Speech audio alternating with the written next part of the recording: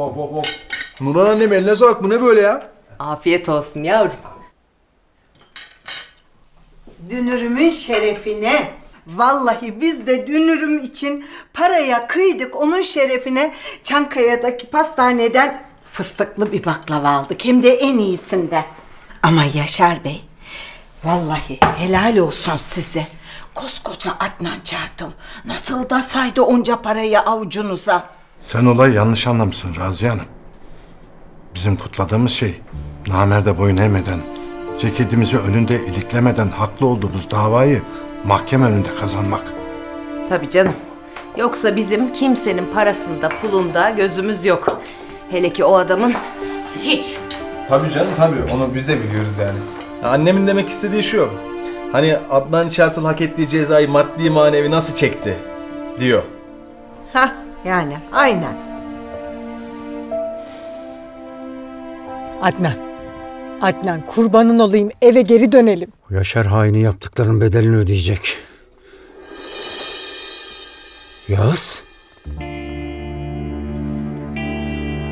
Kızım ciğerden yesene. Torunuma kan yapar. Allah Allah. Allah Allah şuna bak görüyor musun? Ben diyorum ki kaçtır ciğer ye yemiyorsun. Ne oldu baban söyleyince şimdi hemen yeniyor tabii. Vallahi bugün herkes yiyecek içecek. Yaşar ben de yiyip içeceğim ha. Ay kaç yılın kasveti kalktı üstümüzden be. Sen otur Nurhan. Benim beklediğim misafir geldi. Kim gelecekti ya dün? Kim kim misafir? Bak soğanla ye. Böyle güzel olur.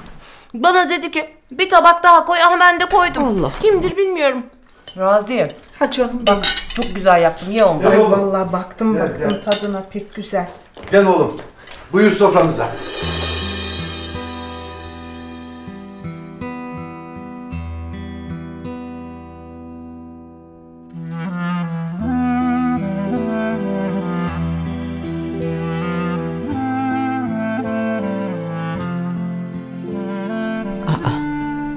Nereden çıktı bu? Kahretsin. Oğlumu da tarafına çekmiş. Ben onlara sorarım. Adnan. Adnan. Adnan dur gözünü seveyim.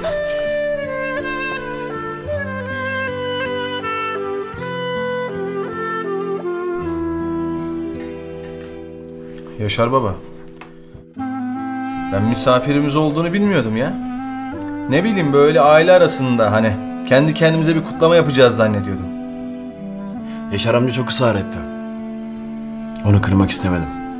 Sağ ol Yağız. Hem kırmayıp geldiğin için hem de sayende mahkemeyi kazandığımız için. Eski fabrika müdürünün senin mahkemeye getirip doğru ifade vermesini sağladığını biliyorum. Sağ ol. Sen baban gibi değilsin. Ben sadece doğrunun yanında olmak istedim Yaşar amca. Gözünüz aydın. Sonunda hak ettiğiniz davayı kazandınız. Buyurun bakalım. Yağız oğlum sağ olsun. Bize çilekli pasta getirmiş. Vallahi dayanamadım baktım ucundan içeride. Pek taze. Afiyet olsun.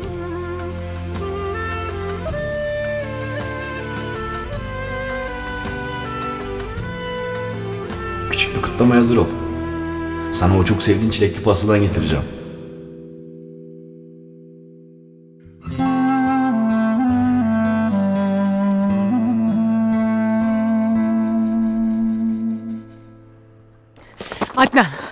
Adnan dur gözünü seveyim. Sen şimdi bu eve gidersen ne olur sanıyorsun ha? Belli ki Yağız'ı da yanlarına çekmişler. Adnan sen şimdi bu eve gidersen Yağız bir daha yüzüne bakmaz. Değer mi bu insanlar için oğlunla kötü olmaya ha? Ha Adnan?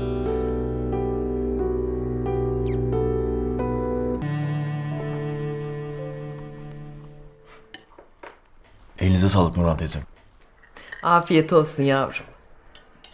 Aha bak görüyor musun? Aferin çocuğum sana pancar turşusunu yemiş. Yahu şu evde benden başka bu pancar turşusunu kimse sevmez kimse de yemez.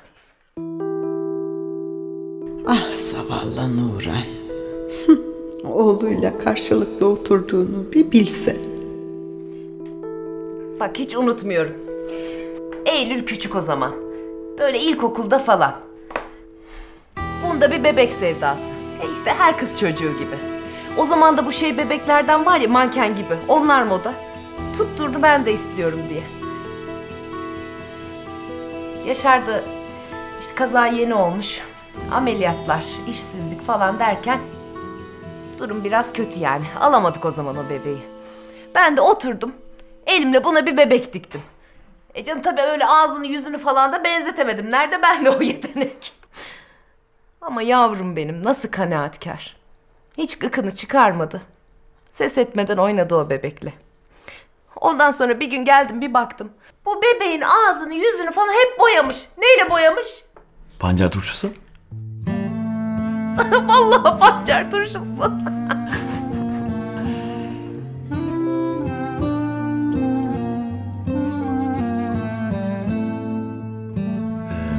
Sadece tahmin ettim.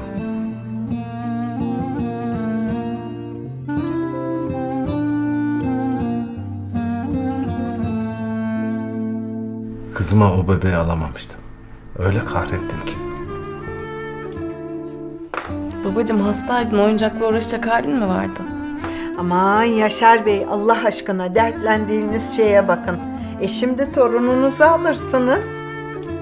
Hem şimdi çok paranız var. İsteseniz bütün mahalleye çifter çifter alırsınız vallahi.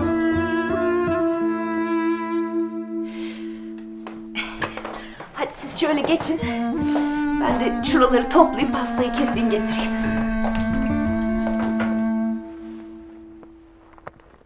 Hah şöyle. Oğlumuzu iyice kaybetmek mi istiyorsun Adnan? Sen oğluma dua et Yaşar Efendi. Bana karşı gelmenin bedelini burnundan getireceğim. Ama bugün değil. Bugün değil.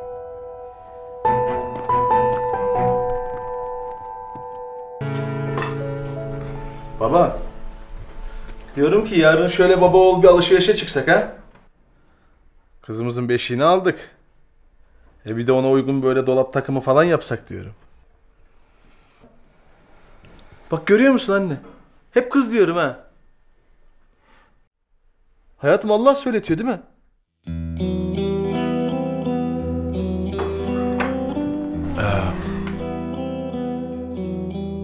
Ben müsaadenizi isteyeyim artık. Her şey için çok teşekkür ederim. Otur oğlum otur. Sana diyeceklerim var.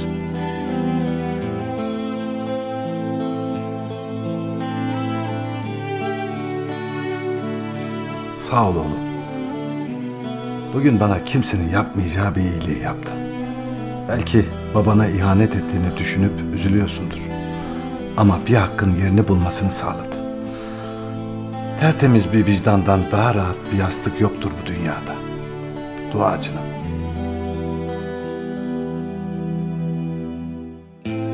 Keşke zamanında babam size bu acıları yaşatmış olmasaydı da ben de bugün ona karşıma almak zorunda kalmasaydım.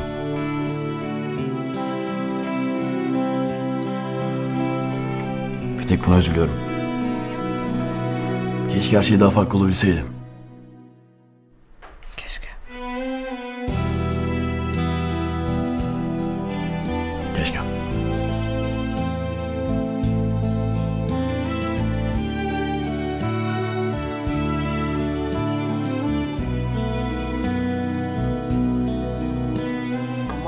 Ay ne oluyoruz canım? Ya bugün bizim en mutlu günümüz. Ay gülelim eğlenelim. En kötü günümüz böyle olsun. Doğru.